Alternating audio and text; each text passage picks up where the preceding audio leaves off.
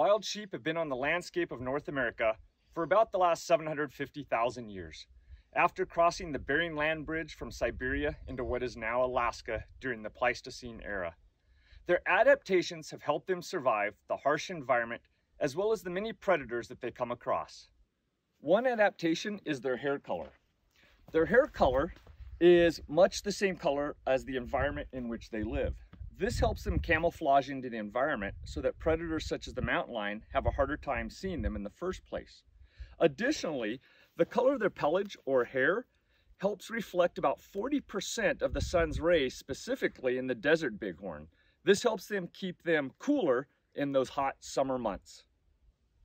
And unlike domesticated sheep, which produce wool as their hairs, wild sheep produce straight hairs that are hollow inside. And that hollow capability helps to insulate them, very much like the double pane windows of our homes. In the summer months, that extra air in there produces a barrier that keeps them cooler. The outside air is hot, their body temperature, and then that's an insulating capability. In the winter months, it does the opposite. That extra hair helps keep them warmer. In colder seasons, they develop a thick coat of outer hair on top of their usual fur. This helps further insulate them. Come springtime and summer, they end up molting or shedding that coat in patches, resorting back to their original coat, which keeps them cooler in the summer months. Another adaptation is their strength. When pursued by predators, their strong muscles can allow them to run up to speeds of 20 miles per hour or slightly more for extended periods of time. When going up cliffs, they can run up to 15 miles an hour and jump gaps of 20 feet. Yet another adaptation is their eyesight. Their keen eyesight allows them to see predators at very far distances, up to a mile away, giving them ample time to get to escape terrain. Additionally, their eyesight allows them to judge distances accurately when jumping to locate footholds quickly on steep mountain cliffs. The horizontal pupil of their eye is very different than that of humans, which is round. This horizontal pupil allows them to see panoramically, giving them a much wider view of vision than animals with round pupils. The eyes are also placed on the side of their head to allow for even more field of view, seen around 280 degrees around them. There's a general rule to where eyes are on animals.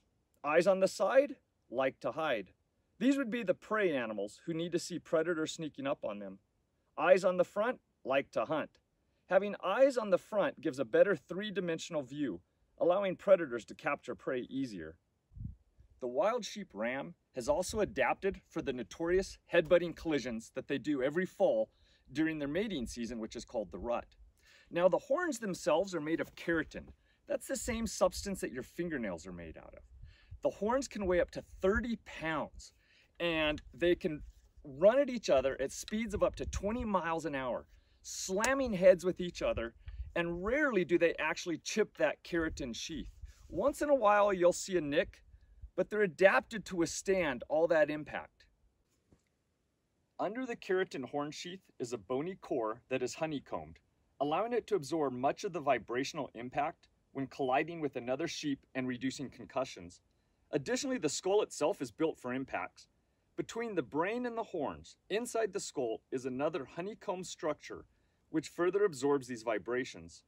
The skull bone is also extremely thick to withstand repeated impact with little physical injury.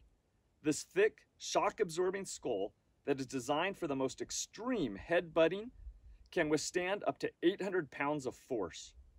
Even the hooves of wild sheep have adapted for where they live. Measuring three to three and a half inches long, they're double lobed, which allows them to spread these out or move them closer together. That works really well for the ledges when they're standing on them. Wider ledges, they can spread them out for a bigger surface area, but smaller ledges, they can squeeze together to get on the tiniest, tiniest little ledges. In fact, their hooves can stand on ledges only five centimeters wide. That's only two inches.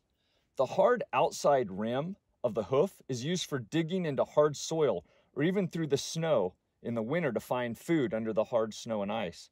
The bottom of each hoof has soft and spongy parts on the inside bottom, sort of like a tennis shoe, to slightly curve around those rocks for more traction. They're also gritty like sandpaper on the bottom, adding more traction.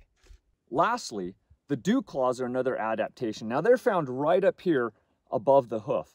If the hoof gets on a ledge that has slippery rocks or is wet and they start to slide, that dew claw can dig into the rock, acting as a braking system, allowing for the other three hooves to take traction on other ledges, pulling that foot back on up. The desert bighorn in particular has adapted well for the dry environment in which it lives.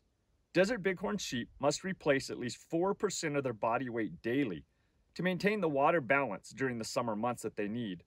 That's about 2.4 liters of water a day. But drinking water isn't always available, especially in the summer months. In general, desert bighorn sheep have adapted to go without water physiologically for long periods of time, although they're subject to stress during very hot, arid conditions if adequate water is not available. Buds and vascular tissue of cacti and agaves may provide valuable water supplements during these dry periods, and they have been seen busting open barrel cacti with their horns to retrieve water inside. Most animals are unable to tolerate losing 10% of their body weight in fluid before dehydration occurs.